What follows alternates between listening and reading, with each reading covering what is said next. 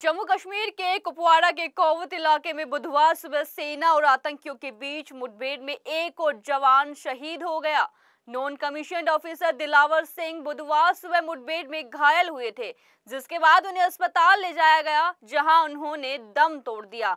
सेना ने इस मुठभेड़ में एक आतंकी को मार गिराया है। इससे पहले मंगलवार को पूंछ में भी एक एनकाउंटर हुआ था, जिसमें लांस नायक सुभाष कुमार शहीद हो गए थे।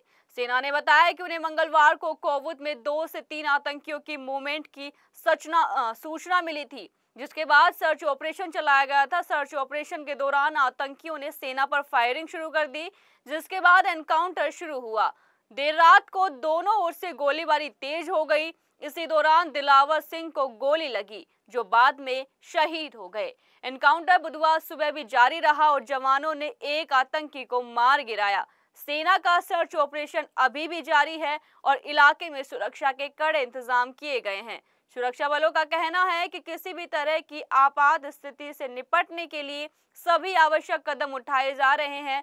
स्थानीय निवासियों को सतर्क रहने और सुरक्षा बलों के निर्देशों का पालन करने की भी सलाह दी गई है।